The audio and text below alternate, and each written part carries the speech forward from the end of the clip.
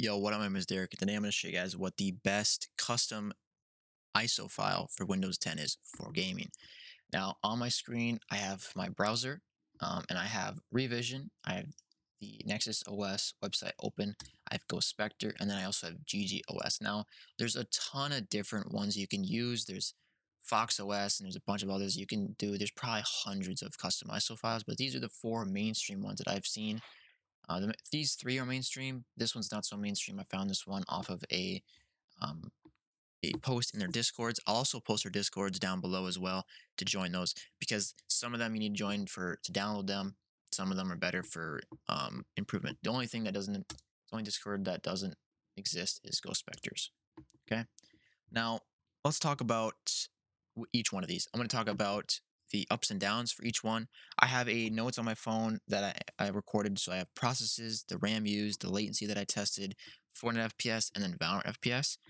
The Fortnite test, I did a benchmark code that was um, for the, in creative, and then for Valorant, I went into practice. I turned on the bots, and I just looked straight at the bots for a minute. Each test that I did here, by the way, was for a minute. So latency was for a minute, and the FPS tests were for a minute. So keep that in mind. Um, and another thing too is each of them were a brand new install on my computer. And I also, uh, I had a brand new install on my computer. I installed MSI Afterburner and I did a, I didn't do an overclock. I just did a fan configuration and that's it. Um, the other thing that I did was I made sure my drivers were stripped. So I used uh, 461.92. I'll actually check my now to make sure that is the right version. I'm pretty sure it is. Yes, 461.92. I use NV Slimmer to slim it down. Um, a couple other things I downloaded, like my browser, you know, Epic Games and stuff like that. And I also put in a uh, power plan. Now, some of these come with their own uh, power plan. So I know Revision has a power plan. Um, Nexus has a power plan. Uh, Ghost Spectre, I don't think has a power plan. GGOS has a power plan. Okay, so those are the, those those are that right.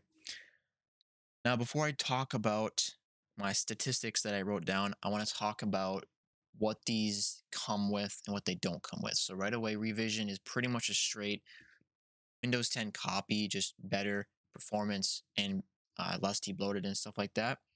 Um, it doesn't have like a toolbox like Nexus OS does and Ghost Spectre. Um, GGOS also doesn't have a toolbox or anything like that. The toolbox aren't really needed. They're kind of just for like if you want some features enabled on your Windows or if you want some disabled, or if you want to download programs through Toolbox instead of going into your browser and doing that, that's pretty much what these are. You can even click on these and, and look at these. Now, Nexus OS website is full of ads, so like I can't, sometimes I click on this and it like opens up an ad. didn't do it this time, um, but you can see the tweaks. You can have this whole thing right here. So for just keep in mind Nexus OS, it's um, it's not great for me. Um, when I used it, I had a ton of problems. Sorry if I just hit my microphone, but um, Nexus has a lot of problems. For me, at least, it did.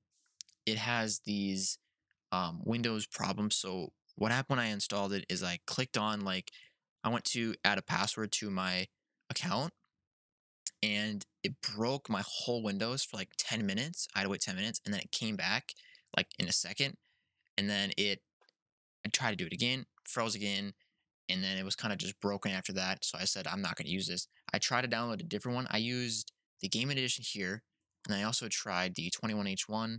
Those two both both broke. Uh, Ghost Spectre, Ghost Spectre is mainstream, bro. It's it, on YouTube. It's all over the place. It isn't that good. It's really not that good.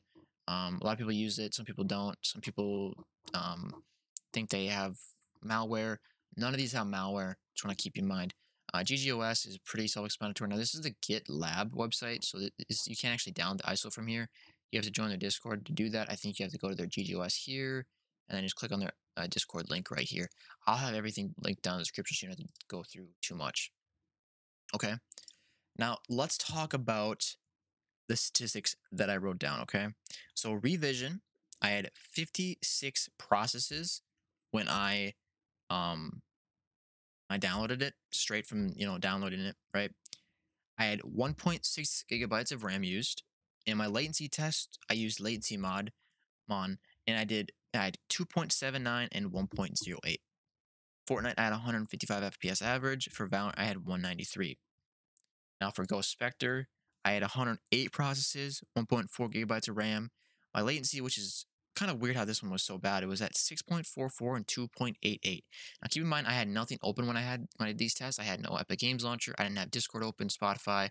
I didn't have those installed. I just had Epic Games installed, um, and that was it. And I had everything closed. The only thing that was open was LatencyMon. Um, Fortnite I had 159 FPS and Valorant had 192. Now Nexus I had 51 processes. I had 1.3 gigabytes of RAM. Now Nexus felt good. When I had it installed, it felt good, but then I had those problems. Uh, latency was 2.73 and 1.07. And Fortnite, it was 160, uh, and then Valorant was 195. Now GGOS was the best out of all of these.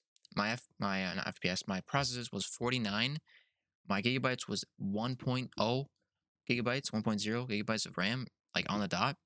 My uh, latency was 2.52 and 0.96. My Fortnite was 155 FPS and my Valorant was 198. So that's the best one. Now, I use Revision right now just because uh, GGOS, I, I can't remember what I had. I think I had a problem with it. Um, no, I just wanted I just want higher FPS because Revision was better with the FPS for um for Fortnite. At least it just felt better when I played it. Uh, I didn't really test too much with GGOS like in games. I just tested those two games.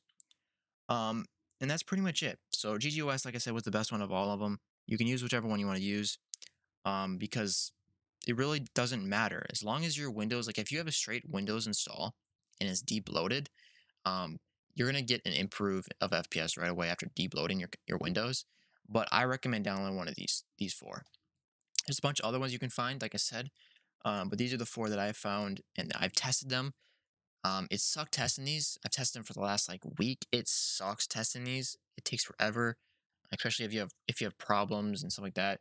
Um, but yeah, I'm done testing. I'm not testing any more OSs ever. Unless you guys find like a really really good one you want me to test, then maybe I'll test it out. But uh, anyways, that's pretty much the end of the video.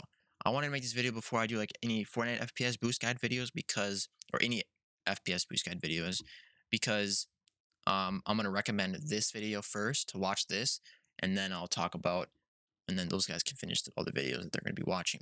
That's why I want to make this video now. But uh, anyways, hope you guys like the video, like and subscribe, and uh, peace out.